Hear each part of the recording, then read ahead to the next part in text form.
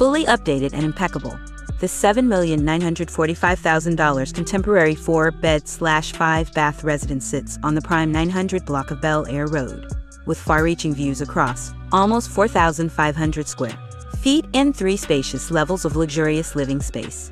Built in 2007 on a 5,601 square foot lot with an opulent open floor plan complete with a convenient elevator, the home features limestone and hardwood floors throughout an integrated audio-video security system and direct access, garage with a private, gated driveway and many more features. Please see the description for more information about the home.